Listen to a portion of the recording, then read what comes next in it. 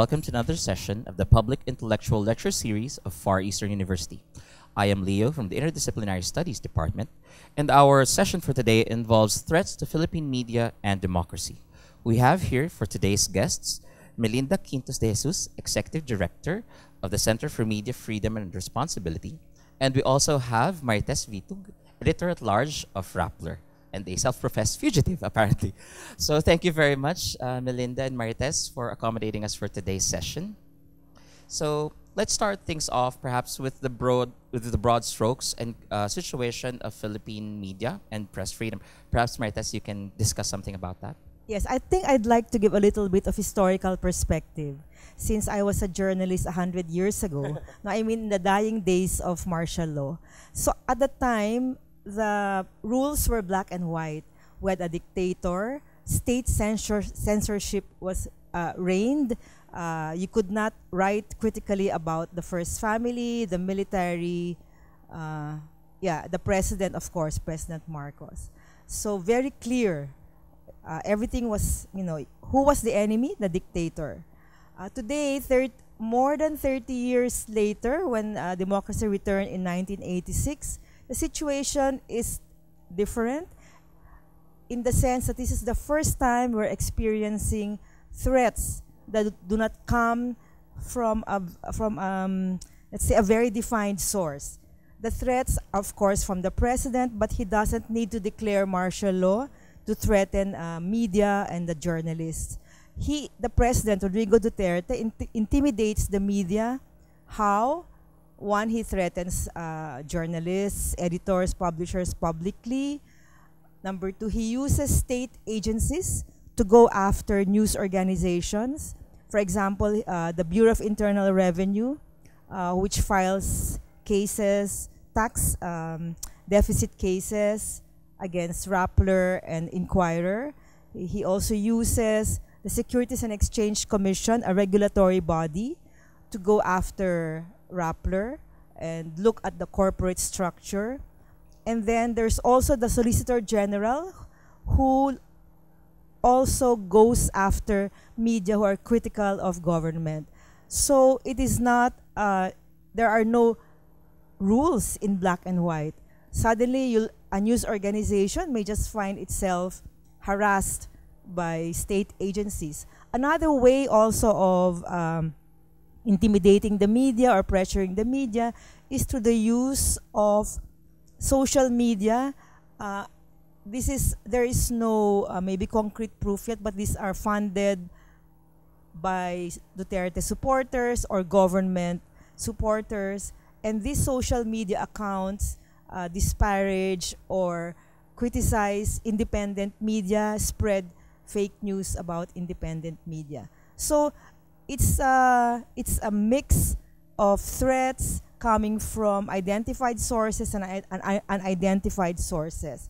Unlike I said, compared to the Marcos years, where you were there was state censorship, those uh, journalists who were seen as activists were sent to jail, and then uh, news media was shut down, like ABS, you know, if you recall, but you're too young maybe to remember. Thank you. So that's actually a very interesting point, Marites, because you mentioned authoritarianism led to the censorship of media. Not even just censorship, but the close, the control of media. But Melinda, what I want to ask regarding that point, no, because you're the executive director for CMFR or the Center for Media Free, of uh, Center for Media Freedom Responsibility, no. Um, given repression, did media well, as of the moment, especially with the advent of fake news and the spreading of propaganda through online means, no, what is the role? How did did media play a role in the emergence of these situations? No, na, the the popularity of social media, no, to the point that they're competing, no, with popular with more established media institutions, no. Did media or the media institutions play a role in that in terms of the practice? Was there something wrong or what, were there things that should be addressed in we're terms of media practice? You're talking about the new media that mm. lives in cyberspace or mm. that operates in cyberspace, as well as the traditional media mm. that now have begun to use the same platforms mm. as cyberspace. So the role of the media is simply the use of these new platforms. Mm-hmm. But the difference is that the mainstream media that use them still provide an editorial process mm-hmm. that vets, that checks the facts, that goes through an uh, accuracy tests, mm-hmm. making sure that there is verification before they come out with it on their online news. The new part of this mm. media situation is that everyone can be a mm. what you call a journalist at this time. Everybody can be a source of news. Uh, if you happen to be in a public event and you have your gadget, your phone, you can actually put it up there in cyberspace and you will be the first mm. the one to who have who breaks that news and some of the other established news organizations will even turn to that initial uh, image that you captured and that you posted so the whole idea then of the role of the media has completely uh, changed. Uh, it is no longer as we have thought of before as credentialed news organizations that go through an established process of determining what news should be out there and how this news is to be interpreted. Now there are no rules, mm. right? And established media or the traditional media are basically tailoring their own ways of mm. making of of fashioning the news so mm. that it can fit a little bit more into this great big world of cyber news. Mm. I mean, I think though in a discussion we need to say when we talk of media, do we mean media as the platform or do we mean media as an institution? Mm. If we talk about media as an institution, then we must use an older term. Mm. We must say the press or the journalistic media. Those who have taken it upon themselves to determine what the agenda is in terms of what citizens need to be informed about. Because that is where the constitutional protection comes from. Okay? And last I heard, we still are a constitutional liberal democracy. Hmm. Although, if you ask me, I think all bets are off. If we have done what we have done and allowed to have done, uh, the jailing of a hmm. sitting senator, the oustering of a head of hmm. an independent co-equal branch of government with hardly a peep from anyone i don't think we can call ourselves a working democracy anymore. We still have an election but an election i think that we should actually ask ourselves where or what were the choices or was there the liberty to make those choices. So you can have elections and still not be a democracy. But that also raises a very interesting point because you mentioned you have the press and then you have the people in social media presenting or providing content. Isn't there an arg? Is, couldn't the argument be made that before media was controlled or information was controlled by institutions like established dailies, um, networks who provided news? Isn't it an, uh, a proof that there is a vibrant democracy where you now have people More. more people, More people. that you don't have to of course i'm i'm quite sure i'm not sure if that's always the case but you have, there's a tendency for media institute for the press to have gatekeepers right where they can decide this is the story you publish because we only have a limited amount of space now everyone Can has a do it. voice can do it Right. what do you think about it No, I, I, I think it was all intended to be good, mm-hmm. right? And those who have engaged in them have basically said, well, I can be part of this great, huge conversation. And democracy does not work unless you have mm. conversation. Mm. Uh, the whole system relies on the equality of the terms of that conversation that anybody can get in that you can actually be part of that discourse that you can be part of that exchange. Unfortunately in this game i think governments have over uh, overrun right all the other communities. They have captured they have and it is not only in the Philippines, it is also in other developed democracies, as well as in the growing democracies in, in the different places in the world. You now have governments that feel that they can hold to control the platforms, the messaging, the ideas, and use propaganda in a way that has never before been uh, energized by the kind of speed and reach that the internet has given them. So we are in deep trouble, if to use a polite word, uh, and and we need to think about this. The the other effect is that when you had the traditional media, you had people listening to certain sources of news, and therefore it is it was easier to develop uh, a shared framework of mm-hmm. understanding. Um, people knew, even if you disagreed, mm-hmm. you could understand why your disagreement. In this cacophony mm. of sounds and messages and political issues, there's very little time to mm. actually sit down and basically say, why are we disagreeing? Mm. And where is the common ground? Unless there is an established common ground, unless we say we all want to, to live according to arrangements that are based on values equality, freedom, human rights that is enjoyed by all citizens, then we can have a clever dictator or a clever authoritarian strongman ruler basically say, What I want is what is going to be followed and what is going to be good. And everyone else can be silenced by the sounds of this huge exchange that we call this marvelous democratic mm. instrument mm.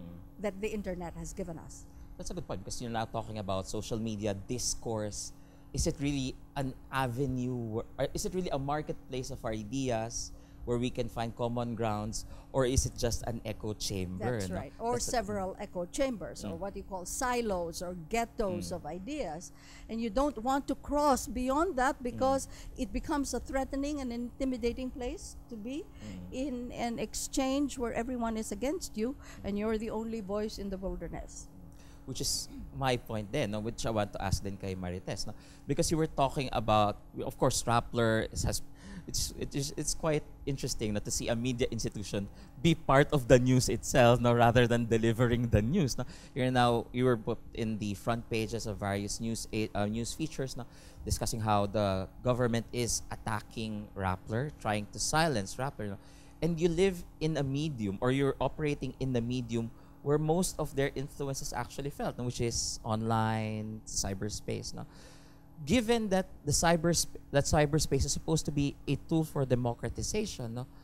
how does Rappler, for example, how can online um, news agencies still position themselves no, as of, or how do you see still your roles no, as the press, no, as the arbiters, no, as the defenders of press freedom or freedom of expression, no? given that this space that you're trying to occupy, no, it is surrounded and more or less dominated by people who are also expressing, you know, certain opinions that might not be valid or propaganda. I think uh, we have to go back to the basics. Technology has changed. Maybe the ground has shifted under our beneath our feet. But the basics are uh, you have to report news that is factual, that is accurate, that is honest. Uh, that's quite important these days because of the avalanche of fake news. That's why an additional role for media organizations like Rappler, uh, there's also Vera Files, there's also GMA Channel 7 online, is to do fact checking. And that has become uh, an important concern that uh, media organizations themselves should fact check other uh, so-called fake news which is spreading on social media. Um, but first, before we can do that, we ourselves have to be uh, faithful to our profession. We have to be credible. Otherwise, nobody will listen to us, will read us. And that means really hard work, uh, a lot of research, and a lot of connecting to the audience. And if you notice, uh, um, Rappler and Vera Files are partners, are third party partners of Facebook in the Philippines that do fact checking. You know, I don't envy their work. I've talked to our young millennial reporters and researchers who do fact checking. There's a lot of them. There's a lot of fake news. And this is not these are not accidental bits of information planted, but these are deliberate uh, means, yes, to deceive, to mislead. So that's why it's very important to uh, educate also and to inform the listeners, readers about you know what is really what stands out as news, what is true and and factual, and that's I think where the Center for Media Freedom and Responsibility comes in. They've been doing a lot of media literacy. Uh, and other groups have joined in as well. So there's additional work now for news organizations. It's not just reporting. You also have to fact check. And now aside from that is you have to engage the readers in various forms. That's a, a great challenge. You know, how to tell the story so that you can connect to readers because there's so much competition, so much stimuli. So it's it's it's a very very big challenge. Thank you, Bert. You wanted to add something? Yes, um, first of all, I think we need to point out that journalism in itself is a process that requires fact checking, verification, so that the stories Every that come out, yes, should involve- every story that comes out should be as accurate as possible in terms of how it has been uh, produced in the editorial process. The fact checking now that that needs to be done shouldn't just come from the news organizations. I think it should be all the stakeholders in society. I think the academic experts, etc., should be willing to say, well, that's not exactly accurate what the president said, and call the media and say, I can give you an interview come over to the office and we'll talk about this and I'll give you a background story on what actually is the contextual accuracy of it because it isn't only factual accuracy but also the real narrative of how certain things develop. Um, the limitations of journalism now have have come out so dramatically. The way we train ourselves to be journalists ought to be improved on, it ought to grow. At the same time, I think it isn't only the task of the journalists, it should be the task of everyone that looks to what we have become as a nation to review what are our responsibilities here. And i call on the academic community again and again that they too be ready to engage in the public sphere in the public discourse you are supposed to be the sources of education of the young, not just the young. But we need to marry, we need to join the force of media's spreading what truths, what facts, what narratives that the nation needs to hold itself to. Thank you. And that's also where I want to lead to next, no? because we're talking about truth, fact checking, and there's a challenge involved because it's not just a simple task to express the truth, but also and to be held accountable. Because unlike you know, let's be honest, some people, some social media personalities, content makers, they're not liable. No, they don't have repercussions if they misrepresent information, unlike journalists. No? Um, but that's also it's not just the that aspect, no, the legal harassment, but also the how um, how the state or even how some actors, no, political actors have responded to the attempts of the press to tell the truth. No? On one hand, you have Rappler, which was which uh, which the government utilized several legal institutional processes to harass. But what about perhaps the provinces, where I'm not sure what the total number of uh, how, or how many journalists have already been um, killed in the provinces. But isn't that a problem? Wherein, of course, in Manila you could get broadcast. You could it could be a big issue if you're if you're harassed. But in the provinces, how does media repression happen, and how does it impact, especially us in the centers? It is definitely a dangerous profession to be in the community press. One, you are dealing with people who know one another, and therefore, um, tempers, the hostilities can become much more volatile because you're face to face with a community that you are covering. You, a city hall, everybody knows who you are, and the threats are real. It this, but this is not new to the situation. We have always been one of the countries already labeled as the most dangerous assignment by the Committee to Protect Journalists.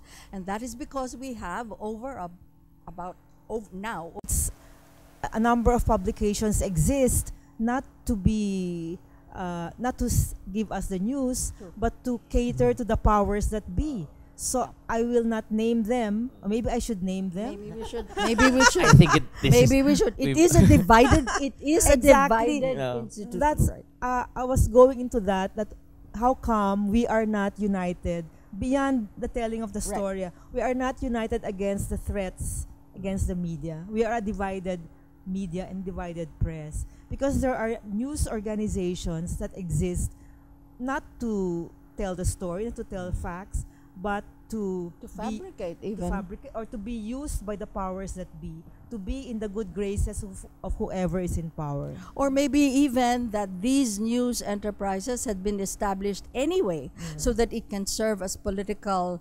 instruments of those who want to retain power in one way or another whether they are in actual power now or not they are there to serve some kind of political agenda and it would be good for the rest of the people to basically know that that is the purpose of their existence I shall say it. The Manila Times is one of them. Well, they uh, clearly you don't have to say it. I mean, if you know the story of the Matrix and who broke it, Yes. right? Where Malacanang basically said, we have the same story. Naunahan lang kami ng Manila Times. O naunahan pa sila. Yun na nga. So, it, it, it, to, my, to my mind, it, it's just become so clear that so many of them are either going to sit on the fence and basically not get involved. And why they are there, I do not know. Huh? But those who are actively being used as vehicles of false news or fake news.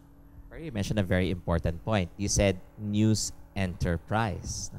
Which leads me to ask, since you're uh, you're running, you're part of an, an, an organization no, that's, does it really affect the fact that news is not? How do we view media, the news in, uh, press institutions today? Are they enterprises? Are they businesses? Or are or should they be public trusts? No, because that's what we were, we were talking about. Melinda and I were talking about it earlier. How should media be? Should, how should the press position itself? Should it be in private hands or in public hands? Should it be treated as an, an enterprise, as a business, or as something that contributes to the public welfare? Well, I think both. It should be a public trust and it should make money to survive. Otherwise, to- there will be no uh, long term future for news organizations. And staying independent, staying independent in these days no, of media being now owned by, let's say, one or two entities. Uh, Philippine Star, Business World, TV5 that's owned by one group, uh, etc. et. No? So staying independent nowadays, or even before in, in the past years, requires one to be able to raise funds for one's existence, but at the same time keeping uh, to your be faithful to your duty as journalists. So we cannot separate being a public trust and being an enterprise, but not to be captured by two big advertisers, maybe the telcos or just specific number of advertisers. Uh, there should be independence uh, in reporting, even if you are reporting on uh, one of your advertisers. You just have to get the side of the say of Smart, let's say, let's say, or Globe, if you're writing about them. But we cannot really separate the two.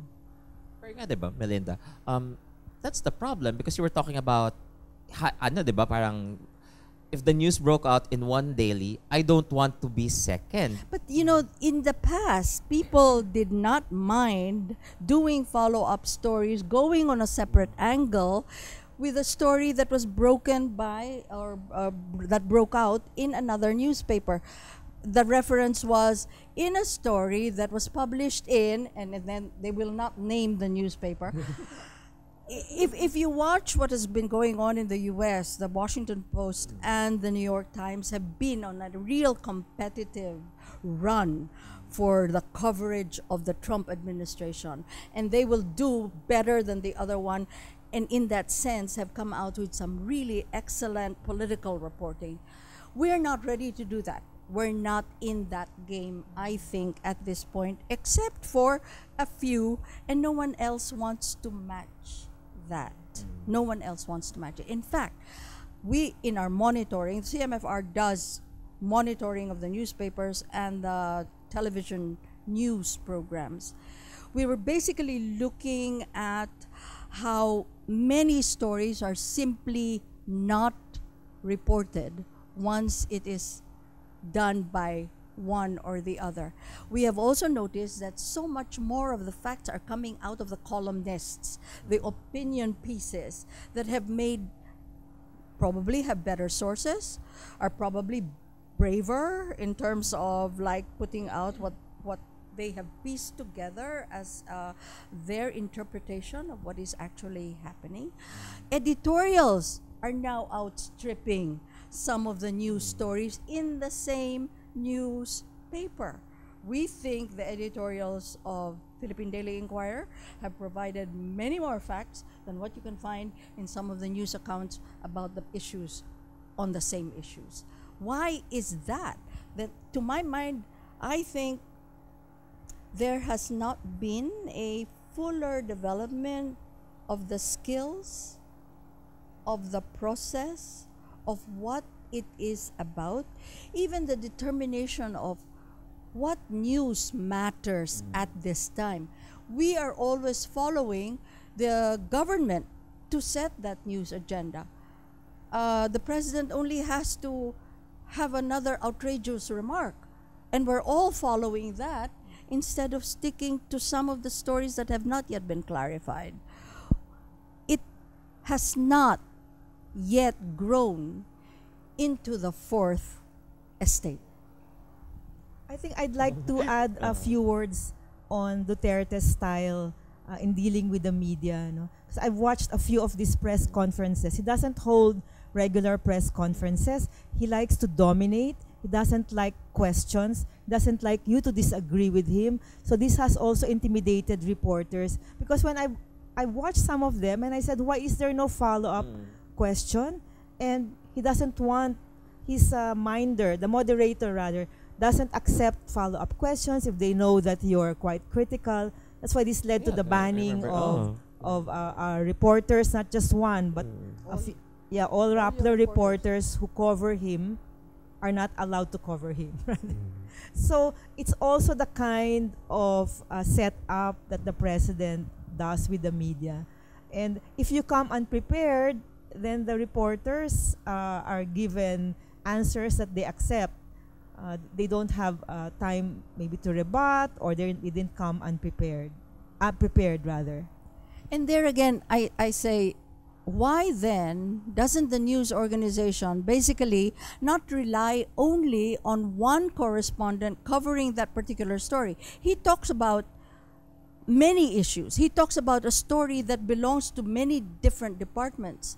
An editor then should say, Hui, the president said this.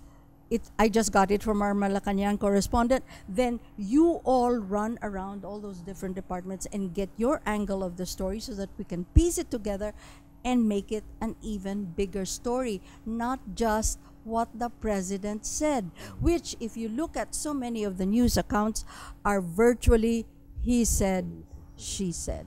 Very few of the news organizations force the reporters to basically get out of the mode of quoting the statements of a public interview or a conference. you you raised a very I don't know how to describe. You mentioned that the press in the Philippines has not grown into the fourth estate. No, that's what basically what you're saying. But I would like to pursue something. But you, uh, uh, uh, a certain point you mentioned, because you said people seem to read editorials, columnists more or columns, no, rather than the actual news. No, and so far, no, what we're seeing now is there seems to be this question of objectivity. It's as if people want, if we're following that same trend, and also ho- why certain people are popular in social media, not the press, not social media, it's because they're not objective. No? It's because they present an opinion and also they present they present arguments that push forward their opinion. So I, I'll probably raise it to Marites first. So how does that work? No, it's as if are we is there really such a thing now as objectivity in the press or is it or if you if you'd like to deter to clarify it, is it every is everything about propaganda how is me how is the press working on the on this type of contradiction nowadays No, first of all, I I don't think I don't believe in objectivity in media. It's just fairness because the choice of information you put in an eight, 500 word news already determines na, it's not a bias, but you have to choose what to you is the most important. So it's just to be fair that you get uh, uh, the other side or the third side of a story. So that's so we don't usually say we're objective. We're just we want to be fair and accurate. And there are uh, media personalities. I don't know how to categorize the Tulfo brothers. For example, they're the examples of journalists who are celebrities and who provoke rather than enlighten and who want to uh, cater to the powerful also. Um, so I don't know if he because he's the influential journalist on social media that I I, I hear of and I don't uh, follow him although you know he makes the news. So uh, that's not my kind of journalist and that's not our the kind of journalist that we would like students to uh, model f- to, to follow uh, because they are more after being celebrities rather than real journalists. I think broadcasters should be trained as journalists first before they are taught the skills of miking and having this radionic voice and whatever, right? And engaging their audience out there. If we call them journalists, whatever platform they're on, then they have to do journalism, which is delivering, determining what the news that matters the news that make a difference, the information that will help you become better citizens so that you can participate in the public sphere. To get back to the issue of objectivity, I mean, this objectivity thing I think has been taught as a theory in the schools, in journalism schools, without much discussion about what its impact ought to be when you're actually writing the story. The story is that objectivity the only meaning that it has is that it has to be factual. Once you get those facts and you get them verified, then you're basically sailing on the issue of objectivity. What has happened is it's become a cloak to protect myself from further finding out any more than just the quote that I got from so and so. So I can just say, well, nobody can question my objectivity. That's what he said. My tape says so. Everyone heard it. What does it mean? What did where did it come from?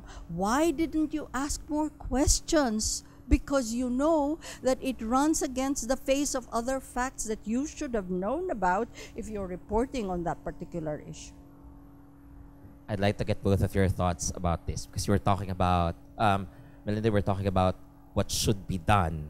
What is objectivity? You mentioned it also, Marites.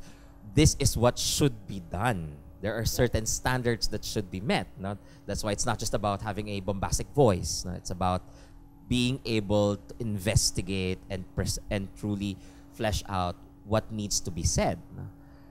My question is, how do you feel how do you both feel about media professionalization and when i mean by professionalization it means you should have similar to doctors to nurses that you should have a ah.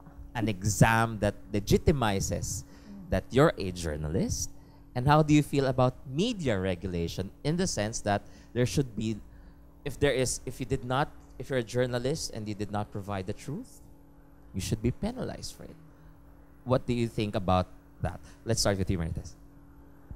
Well, I'm uh, I, I I'm definitely against licensing of journalists. Uh, because we're uh, not dentists and we don't pull teeth, you know, we give information.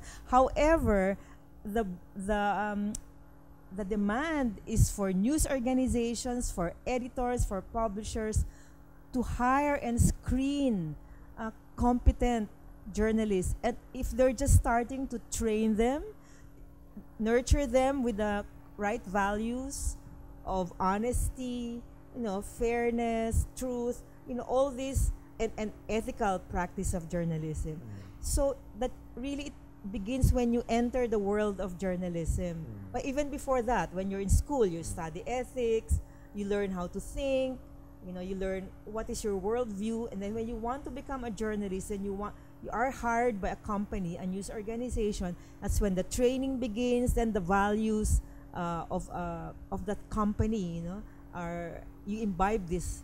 So I don't believe in licensing, and we are in a self-regulatory environment, and I think we this self-regulatory environment needs to be strengthened because there are broadcasters, journalists who are um, who are who have not been penalized Unscrupulous. Yes, who for their uh, violations of ethical practices. You know this thing about corruption. Let's admit it. There is corruption in the media, but at least now we get to talk about it. We get to expose it. Unlike before, 100 years ago, when it was taboo, we couldn't speak about journalism, journalists accepting money or bribes. Now it's being talked about. We sort of know who are doing it, and some newspapers already have sanctioned or fired uh, these um, unworthy journalists. So, having said that, we need to have a better maybe recruitment process for journalists and then training and then for news organizations to be very strict in uh, implementing ethical standards. You know, if the editor hears even just a, a, a bit of rumor about a reporter, I think that editor should already start checking. You know, I think the, the fear here is they will violate labor laws and and the unions and all that. So uh, there's a lot of factors, but uh, the solution is not to license us. Thank you. How about you? No, licensing definitely is out of the picture if we go according to our constitution because the press freedom falls under the freedom of expression and nobody needs to have a license to speak out. Freedom of expression is the mother of all other rights. That's allows us to talk about other rights, right? So we don't want a government to put out some kind of a test mm. to prove that then you are now authorized to speak or to mm. become the source of news. Definitely self regulation. And self regulation that includes a whole lot of other mm. things. A news council that will take test cases and basically say, well, you need to go through these one, two, three, four steps to discipline. Mm. Okay? Whatever it is. It mm. may be mm. punishment, it may not be punishment, but discipline those who are offending or those who have aggrieved um, the public or anyone or an individual or whatever. It includes journalism reviews, which the Center for Media Freedom and Responsibility has undertaken against all odds. If you will remember when we first started doing media monitoring, we were became the pariah in the news institution. We brought out the story of corruption first by journalists basically saying, yes, there is corruption in the media. And all of a sudden everybody hated CMFR and what we were about. But it is now over 30 years or 30 years that we have existed and we have also recognized good works. So people can say that we are objective in that sense. so we I, I believe that mm. self-regulation must also involve the public. Mm. The public must also be skilled enough, good enough, brave enough to give feedback mm. when it knows that a story has been angled in a way to put a false spin to what actually happened. And Filipinos are just not ready to do that as quickly, perhaps, as other citizens in other countries. For one thing, I think the letters to the editor, these are the mm. old traditional Old, media, right? the old no? traditional Letters media. The letters to the editor have sunk now into a little one column, two columns. It used to be a big thing And it used to be read a lot. no? editors used to say i like to sample all the letters that we get because it gives you it, it allows you to have a pulse on the public and what it's really thinking. But all of this have gone completely out of whack. Why? Because we have social media where anybody can talk anyway, right? So what do we do? What do we do to separate us from just the noise? From just anyone who feels brilliant today and therefore I am going to give you what? 5,000, 1,000? No, no, it's limitless, right? What they call them influencers, I think. No. So, what do we do about this? We need education. In the end, that is going to be the basis of the future of the press and the future of democracy. Thank you. And now you're talking about the future. The future. Given this shift, no, this shift from traditional means of delivering information, we're now moving into a world where everyone can speak. How does this, you know, for example, in the, of course, you're talking about people who can write. Of course, you'll start with the universities. You're, you're, you're ta- um, both of you were talking about self-regulation, but that comes with a responsibility. The responsibility that you know what you're doing. No? Um, I'm thinking about because I was talking about it to you earlier. During the martial law era, no, when media was censored, it was held by the throat. No, the the, the media institutions that popped up or suddenly took uh, went at the forefront were campus publications, no? campus the campus press. No? I was thinking, what about now? No? Given that media, of course, is encountering harassment, repression, no? What do you think will be the role of the campus press in this new world where everyone can talk? Where how where what is the role that will be played by the youth and later on by the campus press in terms of self-regulation, in terms of improving the the media institutions, the press institutions? Perhaps I'll start with you, Mel. First of all, let me may I ask is there still a campus press?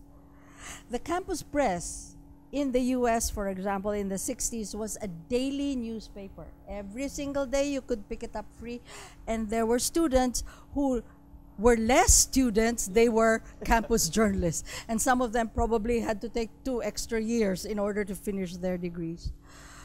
We don't have that. We have an institution that is kind of like a watered down newsletter, I think, unless you have something going on digitally that we don't know about.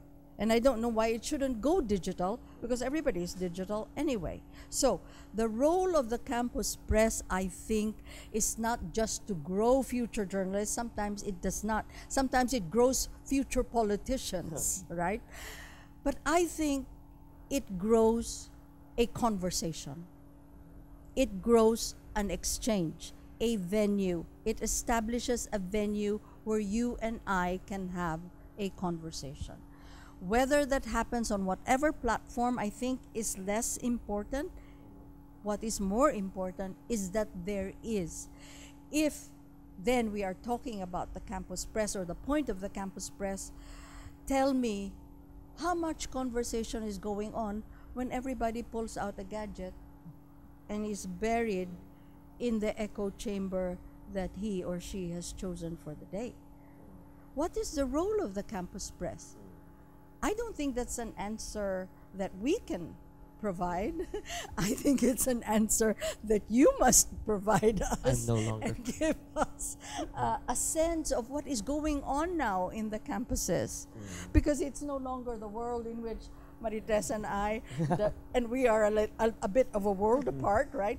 Um, and what we were as students then is a completely different environment than what it is now. The only thing that holds is there are still teachers, there are still classrooms, and students still have to pass with good grades. we hope. How about you, Marites? No, well, I think uh, campus journalists, well, I think campus journalists, Melinda mentioned, uh, campus journalism is a training ground no, for future journalists. What is important, I think, is that they learn to question authority. Because, you know, it's as students, you're easily intimidated by teachers, principal, or deans. So for me, it is a time to test also how a student journalist can question or deal with authority Mm. because that will uh, shape this person in the future. No? Not just as a future journalist, but as someone who will work in maybe government or in, the private sector. It is challenging authority, it is questioning authority, at the same time being able to uh, also get the knowledge and information from these authorities who at the, whom at the same time you respect, but at the same time you also uh, question and challenge. Thank you. So, as a final question, I'd like to ask both of you why should the youth care with the present situation of press freedom? We were talking about earlier how, how the press is being oppressed, repressed. No? But at the end of the day, no, and you were talking about the conditions of the campus press and how students process and obtain information. No? But at the end of the day, no, why should the youth really concern itself no, about these issues of press freedom? What will happen, or what do you think will happen eventually if society lives in a world where the press is silent or there is no such thing as press freedom? Perhaps I'll start with you, Marites. Yeah, why should the youth care? Because otherwise there's nothing to read when they scroll their mobile phones. I mean, uh, information is vital in a democracy. How do the, how do our young people make decisions? How do they decide whom to vote for? How do they decide what stands positions to take on issues like uh, China's encroachment in the features uh, belonging to the Philippines exclusive economic zones. If there were no free press, if there were no free flow of information, then how would we know? How would they know about what's happening, you know, outside our shores, within the country? How would they even be able to think um, and question things, issues? So I think if there, if we didn't have a free press in the Philippines, then can you? It's like going back to uh, martial law. Of course, today the difference is there is the internet. But what if the Philippines draws, uh, builds a firewall? What if we aspire to be like Duterte's great friend China? You know, uh, so it uh, it's very difficult to imagine a world wherein uh, there is no free flow of information. So I think just that idea should instill fear in the young people that suddenly they, they will not have access no, to information um, no matter with the technology if what is being fed is controlled by government. How about you? It's true. I mean, I think the um, only thing that would make them really care would be the threat to their access to whatever it is that they're getting in their gadgets. I don't think everybody uses the mobile to access In the provinces, for example. Not to access news that matters. They're there to connect with somebody from somewhere, or they are there. They open up to to be informed or to be with the latest fashion, or K-pop or whatever you have, right? Or following an athlete or following whoever cele- celebrity. Tell them that if it isn't a democracy, you won't have that. Everyone will have a uniform flowing thing from their particular social media. What else or how else will they care? I think if there was some disaster or catastrophe, and there is nothing that dramatizes the need for information, where is my father? Or if someone else that he cares about is not within sight, you need to find out. And who can find out for you are these organizations that have been trained and, and are established to put together communities that are in the middle of catastrophe and calamity. I do not wish that to be the lesson with which to demonstrate that you do need to be connected in ways that are more meaningful than what just pleases you or what makes life more fun in the Philippines. The whole idea of being part of a society and being part of a community as they grow older, they need to be prepared for the fact that life is hard and you don't know how to prepare yourselves for what will happen. Getting connected to information that matters and to the news that will affect you as an individual in this community. This is the point of having a press and having a democracy. Thank you very much, Mila. And thank you very much, Marites, for accommodating us for today. So, just to sum things up, no, we have to ask this question. No? In this digital age where everyone can be heard and everyone has a voice, does the press still have space in our society? In a world driven by consumption, in a world driven by half truths or personal truths, driven by fake news, is there really such a thing as a search for the truth? And how does media play a role in that part, in that function, especially in the establishment of social justice and order?